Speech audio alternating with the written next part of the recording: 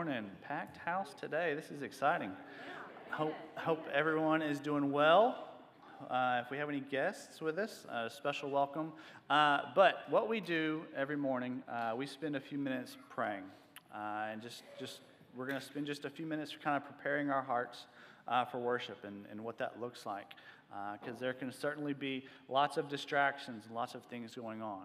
Uh, so if you want, uh, just spend a few minutes there. If you want, you can certainly come up here and, and, get alone with God. But let's just spend a few minutes just open, just preparing our hearts for worship.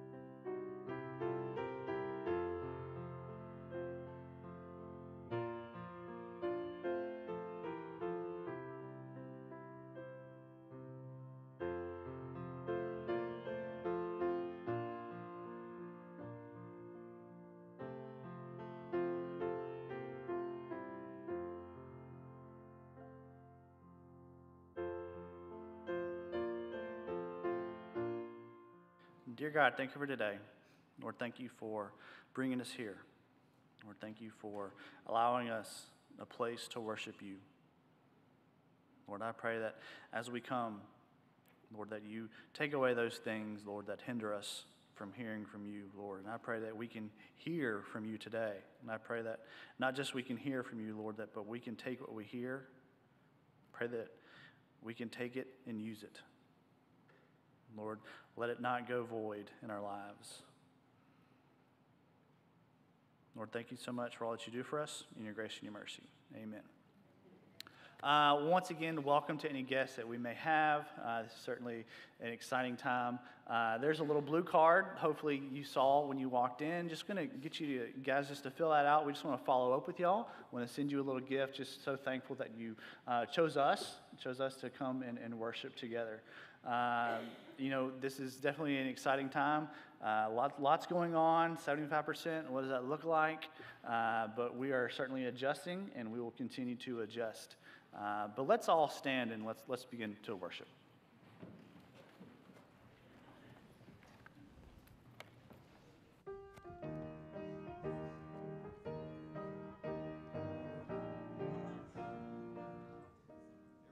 Oops.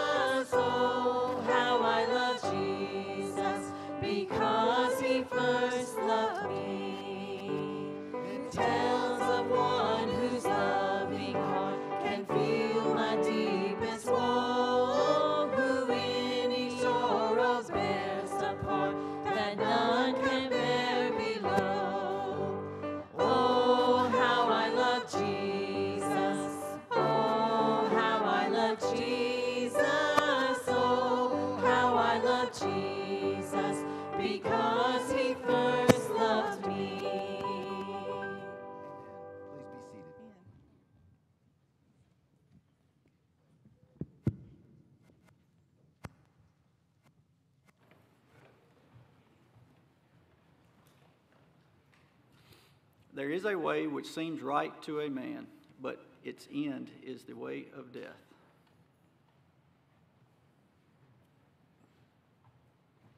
Let's pray. Dear God, thank you for today.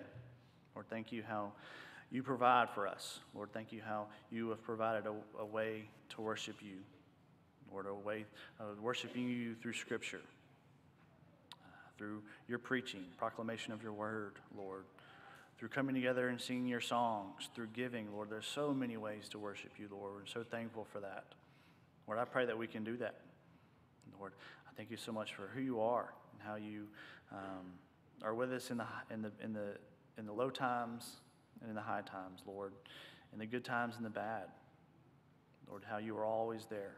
Lord, I pray that we can remember that. Lord, I thank you so much for so much you, how you always are providing for our needs. Lord, thank you for 150 years of ministry in the Stonewall area and across this, this great nation and across the globe. And thank you so much for all you should do for us in your grace and your mercy. Amen. Okay, children, y'all come on up here and find you a piece of tape. Come on up. Find a piece of tape and sit on a piece of tape. There's one right there. Got some up here. Ooh, we got more. We got more folks than we got tape. Tape. There's one more up there. All right. Yeah, there you go. I am glad to see y'all today. We got to have two helpers. You can sit right there, that'll be fine. Right where you are. Yeah. Um, we got two helpers in children's worship today. Just thought I'd let y'all know. Uh, I got a question for y'all. Can everybody see me? Did you know that not every thought that comes into your head is a good idea? Yeah, sometimes you get these ideas in your head and they just don't turn out so good. I have been working in my yard lately a lot.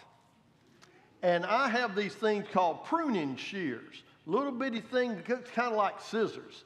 And you can cut the stems off of flowers, real easy to do.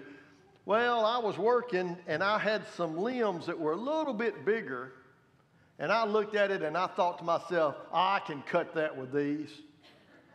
And I squeezed it and it wouldn't cut. And I squeezed and I decided I'm going to I'm gonna do this, you know, I'm going to be strong here. And I bared down. And when I did, I pinched my finger right here and it got me a little blood. And boy, it hurts. It still hurts. Because I was trying to do something that wasn't a good idea. And I had to squeeze a lot harder than I wanted to squeeze. And I slipped down there and just grabbed me Well, did you hear that uh, verse that Mr. Dustin just read a while ago? There's a way that seems right. There are things that seem like a good idea, but they turn out not to be a good idea. And we don't need to go around just doing whatever seems right to us. We need to find out what God wants.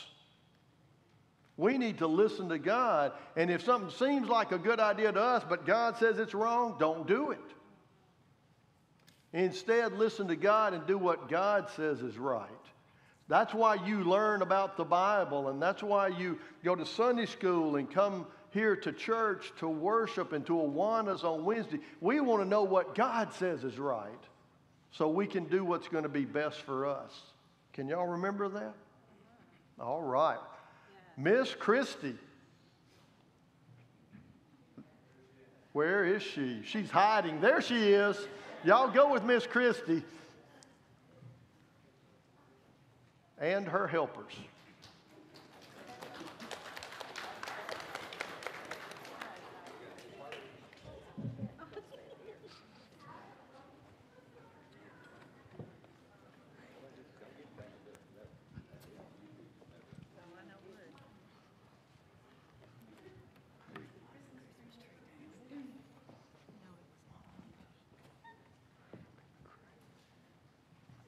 I I, I must be bad luck or whatever for microphones because last week my microphone was dead, and I guess this morning the microphone is dead. So maybe somebody's trying to tell me I need to quit singing. I don't know.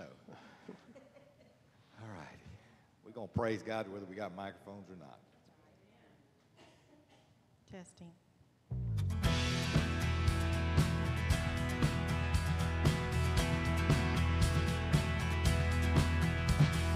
Praises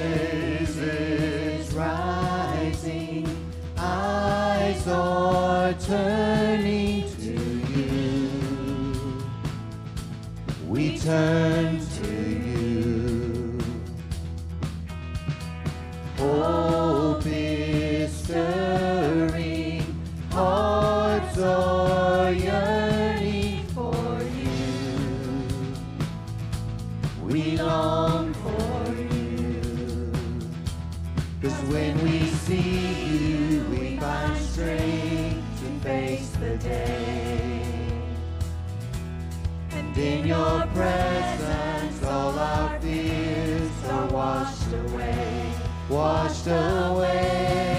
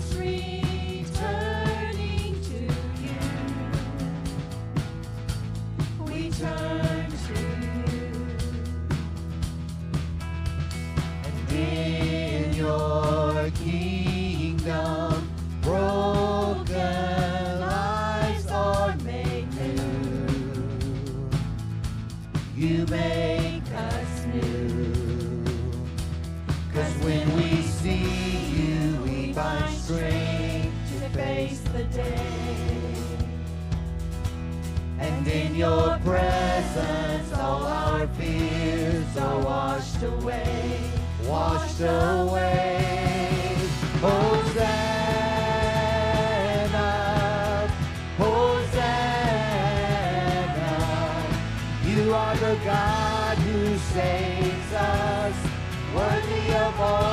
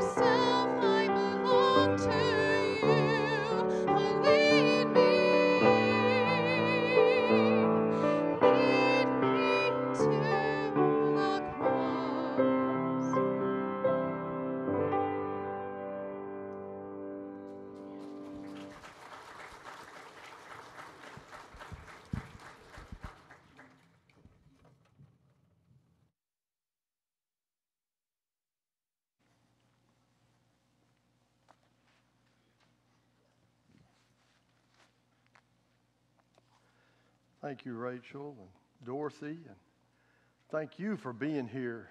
Uh, I tell you, it's great to see a crowd of people again. Uh, we can have 75% uh, capacity now.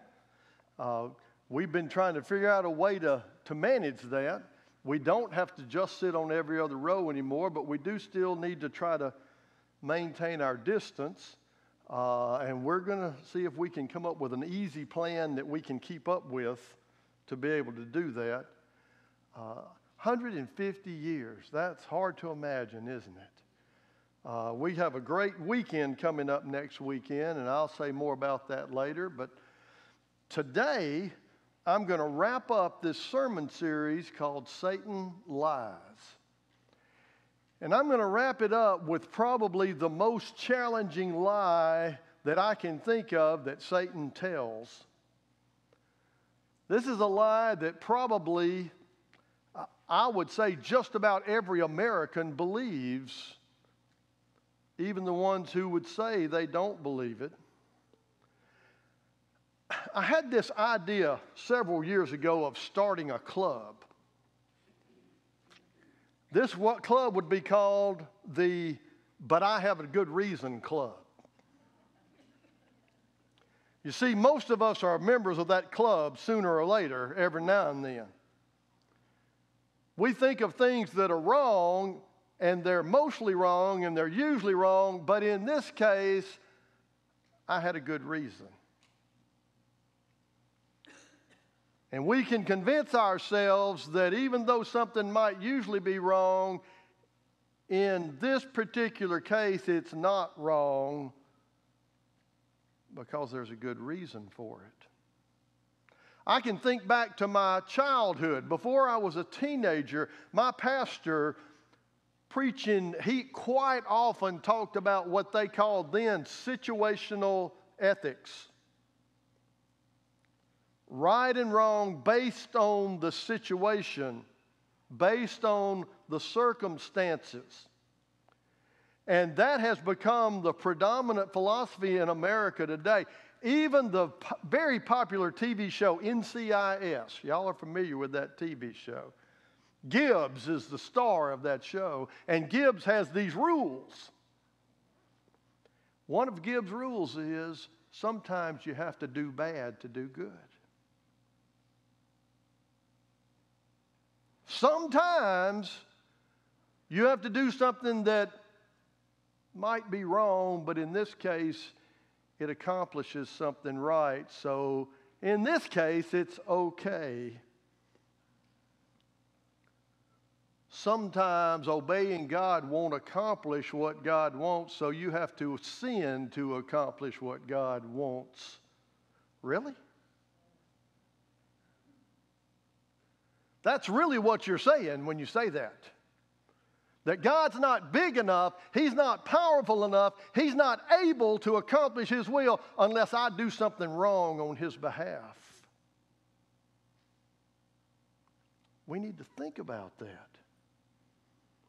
Because we do face those times when everything in our being says to us, this will come out better if I'll do something wrong. And those are the times when it takes faith. Those are the biggest times of life. They're the most important times in our relationship with Jesus Christ when we're really challenged to believe that doing it His way is the best way because it sure doesn't seem that way. So I want to preach about this lie that Satan tells today that sometimes there's a good reason to sin.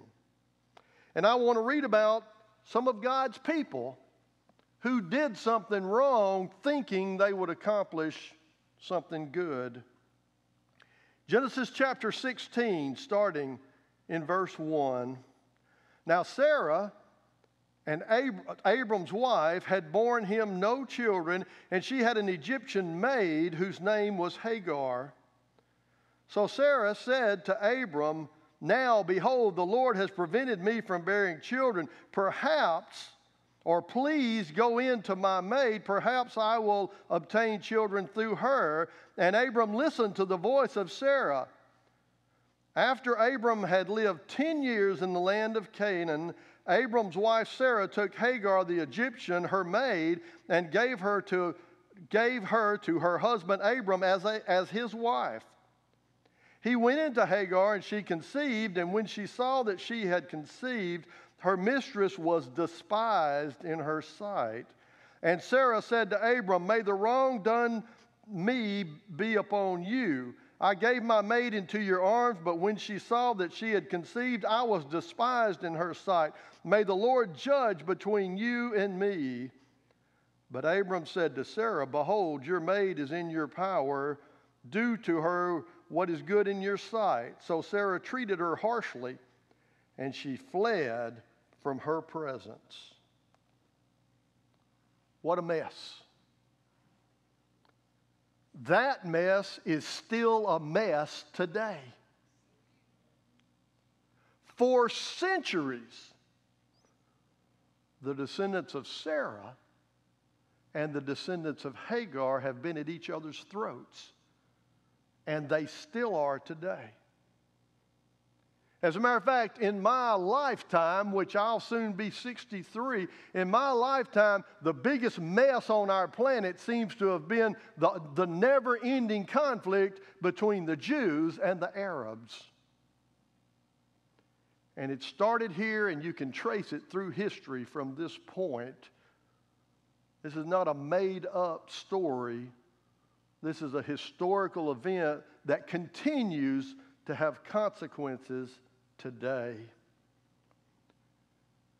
You want to make a mess? Decide that you know a shortcut to accomplishing God's will. Decide that you have a way that will work better than God's way. Now, it would be a terrible mistake to decide that what Abraham and Sarah did was okay just because God continued to work in Abraham's life. The scripture tells the truth. And it tells the truth about God's people. And one of the reasons that you can feel confident believing the Bible is that when God people mess up, the Bible doesn't try to hide that. It tells the whole story. It tells about evil and it tells about sin, even when his people commit that evil and sin. And it shows how God continues to accomplish his will even in the aftermath of sin and evil. God did not need this couple to sin so that he could accomplish his purpose, but they decided that was the only way. God didn't approve of their sin. And yet, God did keep his promise. He did continue to work in Abram and in his descendants. He did bring Jesus Christ as our Savior. You need to know a few things this morning. First of all, you can't keep God from accomplishing His will. Your sin is not going to prevent God from doing what He wants to do. It's just going to keep you from being involved in what God's doing. Our choice is not whether God's will is going to happen or not. It's whether we're going to be involved in it, whether God's going to work through us or He's going to work around us. But either way, God will accomplish His purpose. And, and, it would be wrong to think that the good that comes later justifies what happens in this moment. Think about David. David committed murder, he committed adultery. He paid a great price, his family paid a great price, and yet God still honored his promise to David. He still gave David a son, Solomon, who was part of that line that led to Jesus, to the Messiah. Back when I was coaching, I had a friend that I coached with. He loved to say this. Every time we would somehow win a game when we didn't really play great, he would say, Well, we won, but it wasn't our fault. And you know, sometimes God has to work through us even when it's not our fault. And He will. But that doesn't mean that sin doesn't matter. In God's eternal design, our sin is not going to affect whether God accomplishes that or not. But when our personal life, in our family, in this moment, sin matters a great deal. And there was much suffering in this family that might have been avoided. And there was much suffering in the generations after that that might have been avoided if they had simply had faith in God. But even someone like Abraham can sometimes decide that he had to do wrong for good to come. Verse 1 tells us about the problem. Back, in chapter 15, the Bible records God making a promise to Abraham. You're going to have so many descendants that it can't be counted. You're going to be the father of a great nation. And yet, now, several years later, they don't have any children. Abraham and Sarah are getting older. The possibility that they might have children is going away. And they decide, you know, something's not right here. God made this promise. Maybe He meant something else. And so Sarah, we see, looking for her own solution, looking for another way to accomplish what God promised that He would do. And as my high school science teacher liked to, liked to say, she put two and two together and she got five. She says to Abram, uh, Perhaps I will obtain children. I, that just seems so odd to me. She thought she could take her handmaid, her servant, make him, make her her husband's wife as well, and that maybe she would have children, and, and that this servant would just turn the children back over to Sarah, and Sarah would be considered her mom. She actually thought that might happen. She had figured it out. And Abram, he's just he's just kind of in the background all this time. Okay, whatever you want me to do, I'll be glad to go along with you. You know what they didn't do? They didn't pray about it. They didn't seek God's guidance in any way. They didn't consider any ethics or any morality. They simply did what they thought would work. There is a way that seems right to man, but the end is the ways of death. Folks, we cannot live for God doing what seems right to us. You may think of yourself as a good person, as a moral person, of a godly person, but if you try to live your life by just doing what seems right to you, you will get off track faster than you can imagine. We have to know what's in God's Word. We have to crave God's Word and we have to take in God's Word and we have to make our choices based on what the Bible says is right. The predominant philosophy in America is known as pragmatism. Now, pragmatism is connected to the word practical. And in that sense, there's nothing wrong with being practical. As a matter of fact, when we, we studied about faith from James a couple of weeks ago, James told us that real faith is practical. Real faith has a real effect, it makes a difference. But pragmatism is much more than just being practical. Pragmatism says that there is no absolute right and wrong. There's no objective standard for what's right and what's wrong. There's nothing that's just always right or always wrong. That right and wrong are based on the outcome they produce. And that anything you do that produces a good outcome must have been good. And anything you do that results in a bad outcome must have been bad.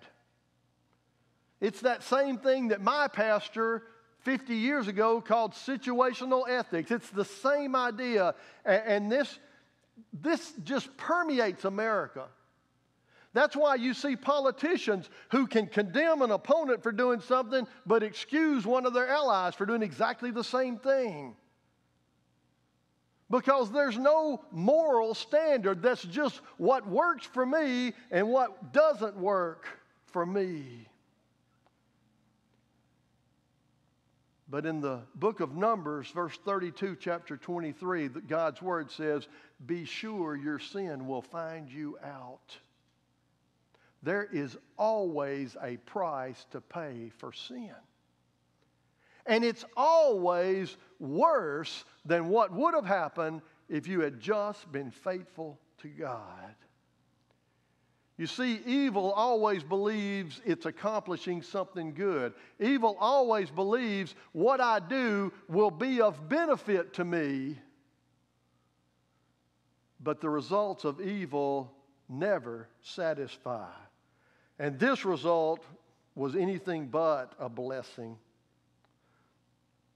Immediately upon becoming pregnant, Hagar started to look down on Sarah. She despised her. And Sarah turned to Abraham and lashed out at him. She blamed him. She basically says to him, God's going to get you for this. You've hurt me. And we don't see any love in Abraham. We don't see any remorse here. He just says, Well, then, well, she's your servant. Do what you want to with her. I don't care. Wow. And Sarah starts to mistreat Hagar, and she's so harsh with Hagar that Hagar runs away. Folks, if you want to make a mess, here's how you do it. You just decide that you know better than God. Just let Satan stroke your ego you can make this happen. You can make this come out the right way. God's word won't work this time. Thought about the book of Deuteronomy. Deuteronomy is basically Moses' last words to the children of Israel. The, the whole book, uh, or the great majority of the book, is Moses speaking to the children of Israel before his death trying to give them a little last encouragement. Uh, and, and 15 times in the book of Deuteronomy, Moses says to the children of Israel, Remember. Remember. There are many more times in there where he points to the past. He doesn't use that word, but it's the same idea. Folks, it's so easy to forget who God is and who we are. It's so easy to forget all that God has done, the record that He has built up, the ways that He has blessed, the ways that He has been faithful and come through for us, His power, His faithfulness, His provision. It's so easy to forget what God has proven He will do if we will just believe. But it takes faith. It takes faith to stick with God every time, especially those times when what God wants you to do doesn't make any sense. If I'm honest, if I act with integrity, if I do things the right way, I'm going to pay a price for that. You know what? Maybe God can bring glory to his name by the price you pay. Maybe God can accomplish His will through the suffering that you have to go to to be faithful to Him. This is God's design that without faith, it's impossible to please God. And that's what God wants from us. You know what the Bible does not say?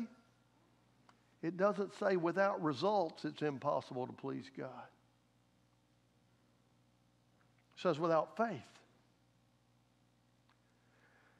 I pointed out a few weeks ago about the prophet Jeremiah. We studied him last year in January Bible study.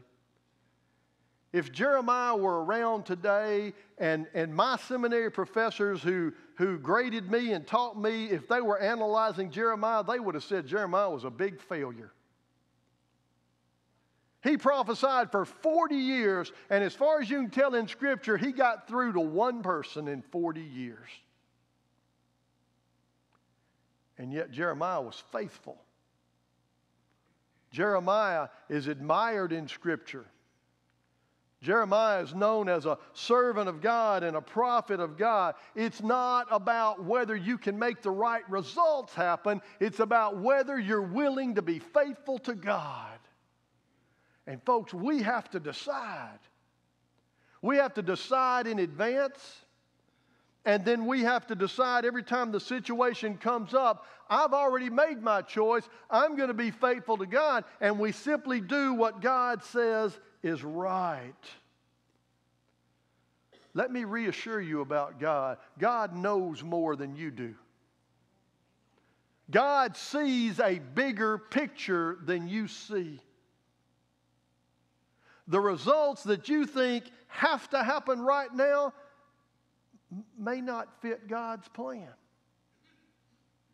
He may have a much bigger plan that you can't even fathom right now. But you can have faith to believe God and to just be faithful. I believe with all my heart the greatest thing any Christian can do is to be faithful to God. That's number one, that's at the top of the list. It's not being able to preach a great sermon or to sing a beautiful song or to, to go out and impress millions of people. It's to just be faithful. And God's not going to compare you to Billy Graham and say, Did you lead as many people to Christ as he did? He's going to compare you to what he called you to be. And his question for you is going to be Were you faithful to what I gave you to do? That's what he wants. It takes faith. Nothing more, nothing less. It's the only way to please God. But, folks, if you'll have faith, you can be part of His marvelous plan. You can see His plan unfold before your very eyes. You can be astonished, astounded.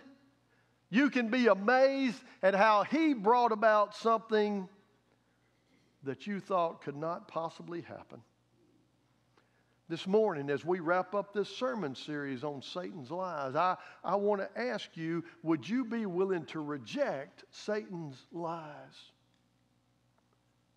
Would you be willing to say, I'm going to be faithful to God, period?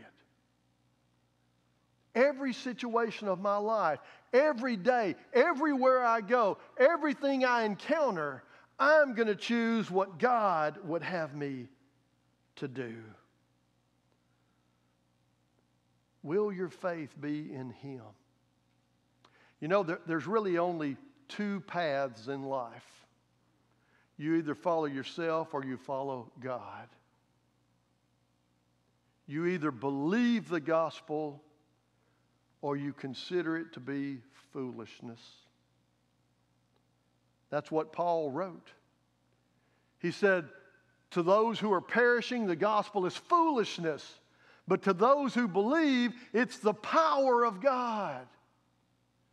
Folks, the gospel is very simple. Jesus Christ left heaven and came to earth. He lived a sinless life on earth so that he could be the pure sacrifice for our sin, so that he could pay the price, so that those who believe in him could have eternal life.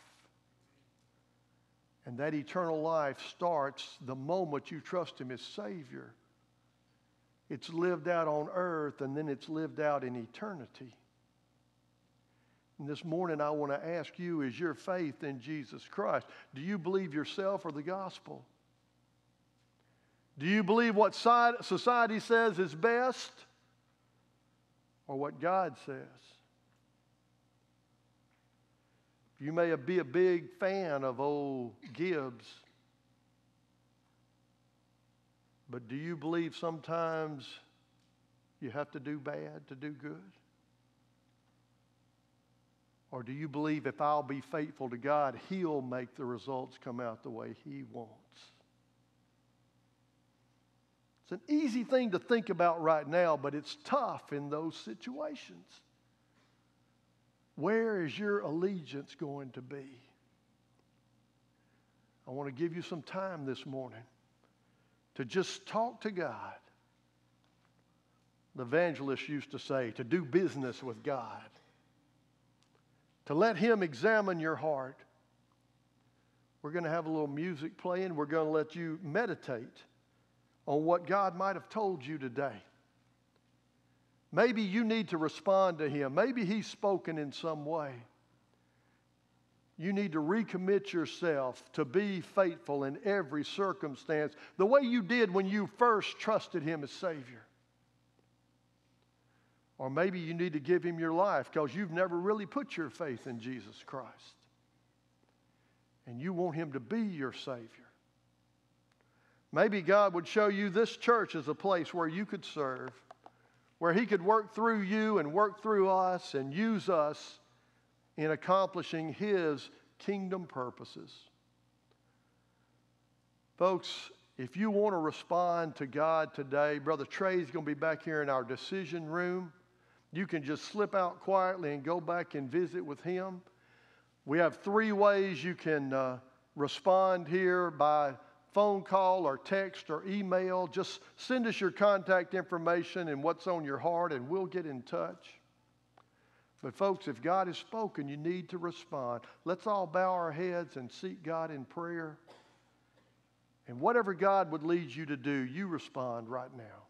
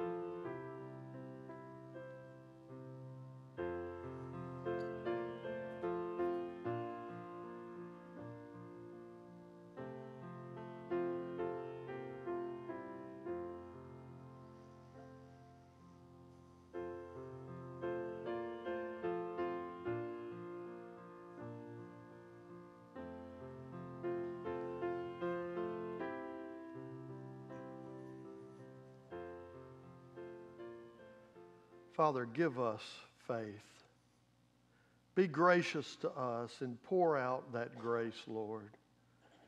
Help us that when we're pressured, when we're confused, when we hurt, that, Father, we would choose faithfulness, that would see your mighty hand at work, and that you would accomplish your will.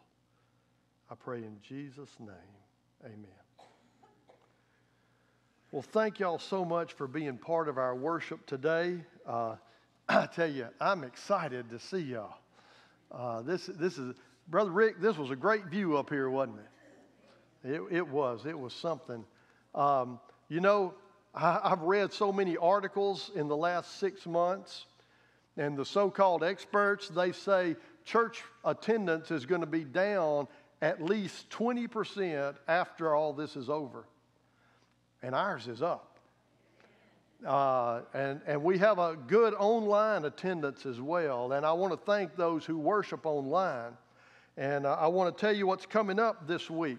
Now, we do have a, a short business meeting in a few minutes. We're going to give you a chance to slip out if you uh, can't be here for the business meeting, but we will meet. Um, I don't think we have anything uh, earth shattering to consider, but we will update you on, uh, on what's going on uh, business wise.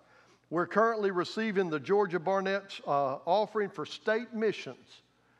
This money goes for two big things for starting new churches and for disaster relief. And you know, right now in Louisiana, disaster relief is really, really needed. And uh, you can uh, support that work through this mission offering. So pray about that. This is the week of prayer for, for our state missions, and we have the uh, prayer guides here for you to take if you want to go pray each day this week about our, our mission work in the state. And um, then you give as God leads you. And then next Saturday and Sunday, we have our 150th anniversary celebration. Saturday morning, we're going to have an open house.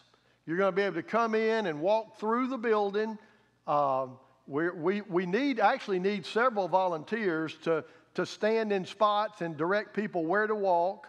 Uh, you'll see things about the history of our church. We're going to have videos playing in here of former pastors, former staff members, um, talking about their time at this church and what it meant to them. And uh, that'll be th- one of the things you can do. We'll have snacks and we'll have uh, commemorative cups and t shirts that everybody that comes gets one. And uh, you'll just pick those up as you're coming through uh, next Saturday morning. And then Saturday evening, we're having a concert here uh, with the Jason Lovins Band. It'll be at 6 o'clock, and it'll be here in the sanctuary. we can have 75% capacity, which is about 225 people. And then we're going to have overflow in the fellowship hall. If you don't really, if it, you don't really like it too loud, you might choose the fellowship hall. You know, it might not be quite so loud in there. Um, but we're also going to stream that concert online so that people that don't want to get in the crowd can watch it from their home. And we even have a place on our, on our uh, church website where you can give to the love offering for the Jason Lovins Band uh, on the website. And so you can do all that from your home without even being here. We will take up a love offering, and I guarantee you they need it. They've had to cancel all their planned concerts through the summer. And uh, that has really impacted them tremendously. And so uh, they're going to come minister to us, but we're going to minister to them as well. And they will be here leading the music part of our worship on Sunday morning. Um, we have an opportunity for five homes to keep one of the band members for two nights. And um, if you can do that, please let us know. You will be blessed and you'll get to eat Jackie's gumbo Saturday night because we're feeding the band Saturday night. And everybody that has a band member in their home is going to be invited to come eat with, with them and with us. So if you're able to do that, please let me know because we're down to the wire now. Uh, and uh, we could use that help if uh, that's something that you can do. Uh, we did start back children's Sunday school and children's worship this morning. Yes. Six o'clock. Six o'clock on Saturday. And then Sunday morning, our regular schedule worship service. Saturday morning is 10 to 1. Oh, that what you meant? I thought you said Saturday night. Okay. Yeah, Saturday morning is the open house is from 10 till 1. And if you can be one of the people that stands and points and help on Saturday morning, please let Brother Trey know. He didn't know you're supposed to let him know, but now he does. uh, we, can use, we can use several people helping uh, on Saturday morning. Uh, our car show is coming up October 17th. You can contact Brother Cody about that if you can help with that. Is there anything else we need to mention this morning?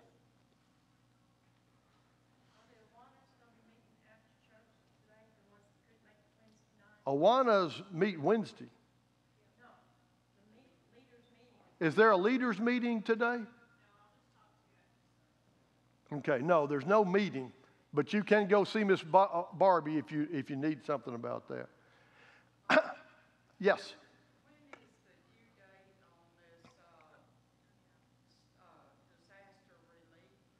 We can give any time. There's not a, there's not a due date on it. We, we take this mission offering up in September. But, oh, the things to be taken down there? I, I don't think we've set a time when we're taking it yet. We're going to see when we get as much as we can get, and we'll take it at some point. Yeah.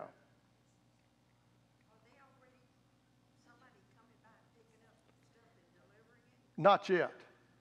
We're still collecting uh, items to go down there. You might have seen, if you're on our prayer chain this morning, that uh, Miss Fayreen Brown's sister, who lives in Lake Charles, had come up here to, to stay with Fayreen, and her house burned down last night. Apparently, the electricity was turned back on, and there was something a short or whatever. And so, you can't imagine all the problems and, and, and all the loss that people have suffered, but just um, keep remembering that part of our state. Uh, it was just devastated. Anything else? I am so excited about next weekend. Uh, it's going to be a wonderful time. Don't forget to see me if you can keep a band member now. I don't want you to miss out on that. That's going to be good. All right, let's stand uh, to be dismissed in prayer. And uh, if you can stay for the, uh, for the business meeting, just let the people out of your row and just sit back down. We'll get the uh, reports to you and we'll get started on that very quickly. Father, thank you for this time to be in your house.